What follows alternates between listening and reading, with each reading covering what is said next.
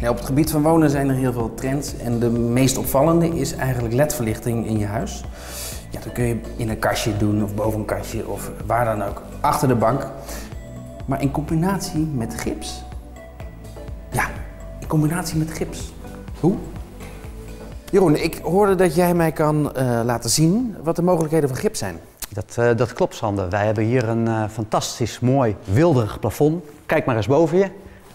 Wauw. Dat is niet verkeerd, hè? Dit is een eh, combinatie tussen klassiek en modern. Je ziet hier bijvoorbeeld ledverlichting aan de zijkanten en in het midden. En dat is een, eh, een trend die we de laatste tijd heel veel zien.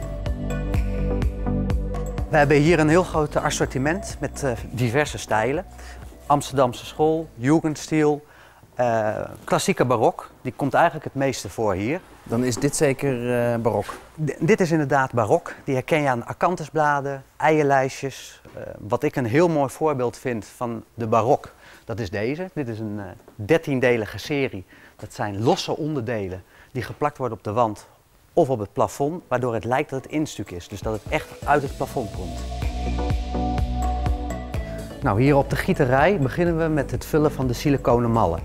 Die worden eerst gevuld met gips, op deze manier zie je dat. En daarna wordt het gelost. Dan komt het er op deze manier uit. De tweede stap is dat het naar ons drooghok gaat. De stap 3 en de laatste stap is om het te schuren. En dan is het klaar voor verkoop.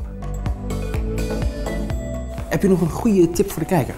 Ja, ik heb wel een, eh, een leuke tip. Als je ornamenten in je huis wilt of sierlijsten, is het verstandig om je goed te laten informeren. En dat kan aan de hand van een eh, gesprek op locatie of een mooi boekwerk aanvragen.